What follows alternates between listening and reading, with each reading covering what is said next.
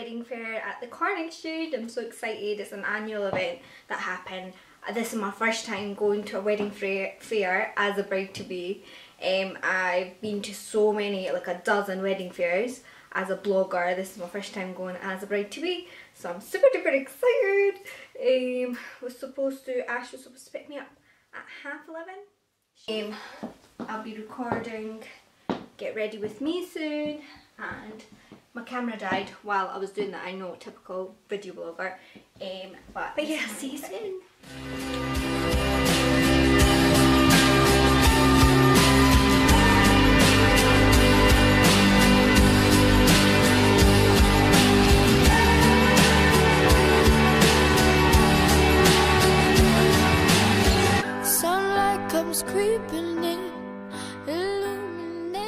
Illuminates our skin.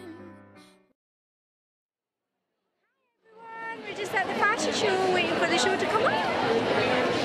Are you having a good time, Ash? Yes, I am. What have you done today? Looked at so many stalls, cakes, invitations, bridal.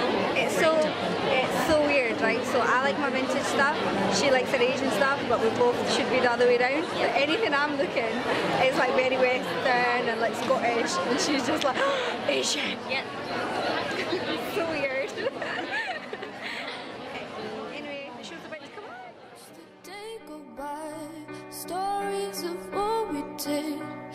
Made me think of you. It made me think of you.